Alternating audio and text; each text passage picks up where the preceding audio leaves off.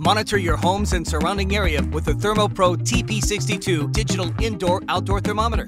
Highly accurate sensors keep track of both indoor and outdoor temperature and humidity from one location for up to three sensors 200 feet away.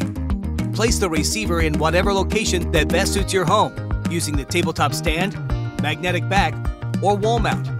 Always stay informed on current and upcoming changes to your surroundings with the informative display to make the correct adjustments to avoid high humidity or dry air.